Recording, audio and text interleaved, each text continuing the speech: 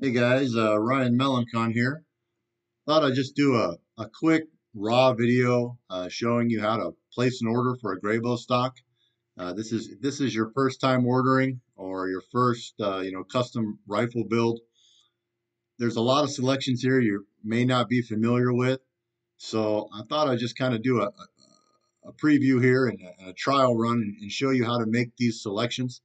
Um, we'll just go ahead and get started on every product page for a stock, you'll see our lead times listed here. This is updated pretty frequently. Uh, so these lead times that you see, six weeks, uh, eight weeks, are accurate. So finish, first option. Um, you can select any of these color finishes here. Some of them have a, uh, associated upcharges to them, like uh, Kuiu Verde. It's $100 more to apply that fancy camo or you can just you know choose one of our painted finishes here like a woodland camo.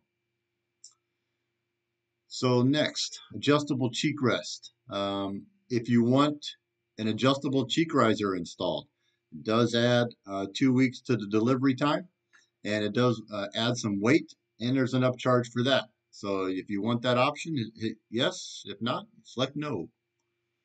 Action orientation, pretty self-explanatory, uh, right or left-handed. Action Inlet. Um, got a lot of selections here. You'll see some of them have a $25 charge, some of them do not. Uh, reason being is a lot of these actions here, you'll see, um, like the Bighorn Origin, uh, they all, a lot of these manufacturers state that, you know, their actions are a Remington 700 footprint, and that's mostly true, but not totally. Uh, for example, this Origin, actually has a longer ejection port uh, than a Remington 700. So what we do is we put the stock up on our CNC machine and we modify this port and extend it, cut it and extend it to match uh, the actual action footprint. So that's why those fees are there. If you, it doesn't, it's purely cosmetic, like for the Origin, for example.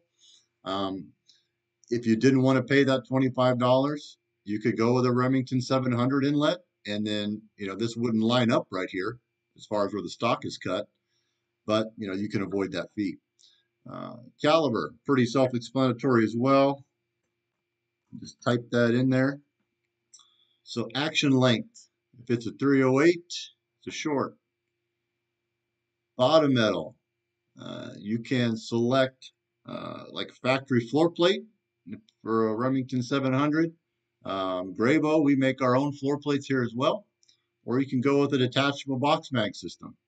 Just select that. You'll see here that if you select a, an M5 bottom metal or the Grayboe uh, detachable box uh, magazine, bottom metal, uh, this will pop up. So if you don't have one already, you can actually add it to your cart and purchase one right here. Um, all these selections have what they call smart logic.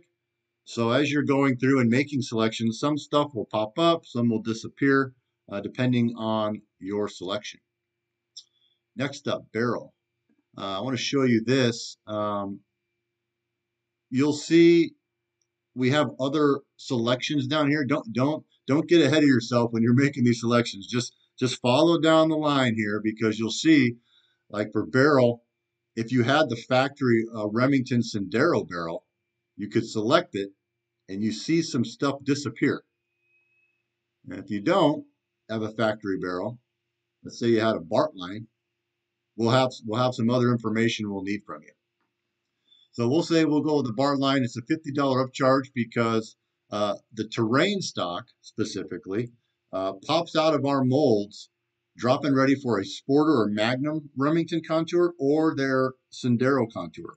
So if you have a barrel contour that is different than that, um, we'll need to modify the stock and machine it so that your barrel uh, drops in and free floats. So Bartlein for the barrel. Does your barrel have a barrel nut? Uh, some people aren't sure what that is, so I talked to my buddy Google and told him to show me. Um, here's one, a Remington 700 with the barrel nut. So if you have one of those uh, screwed on your barrel, you will select yes. If you don't, no. contour number. You know, all these aftermarket barrels have different contour numbers associated with them. So just make your selection of what you have. Say it's a number five. Finish shank length. This one kind of gives um, people some trouble sometimes. Um, if you email us at sales at grayboe.com, uh, we will email you a photo uh, showing you how to take that measurement. But I have that right here. Finish shank length. So basically what we need is, it's basically the chambered area uh, of the barrel. Um, we need the measurement from the face of the action forward to the first break in that barrel taper. Just We just need this straight dimension. It's two inches here. Here's one like a here's like a Remington 700 style with the recoil lug.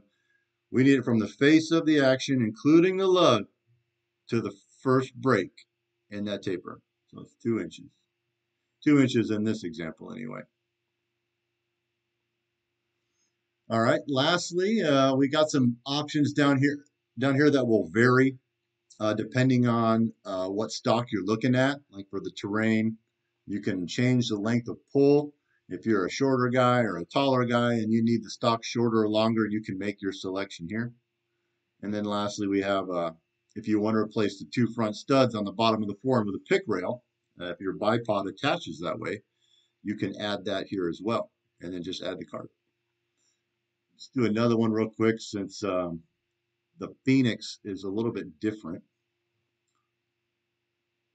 A lot of this is all the same, you know, finish, action orientation, inlet, length, bottom metal, all, all that kind of stays the same. It'll look similar. The one big difference is barrel. Uh, basically, the Phoenix is a universal uh, barrel, uh, and so it takes everything up to an MTU uh, contour. So you don't have to make any selections here. Uh, you also notice, I might as well show you this, there's no fees uh, for um, action modification because the Phoenix is a universal stop.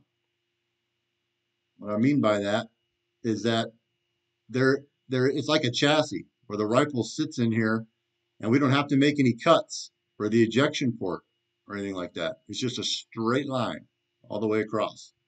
So no additional fees.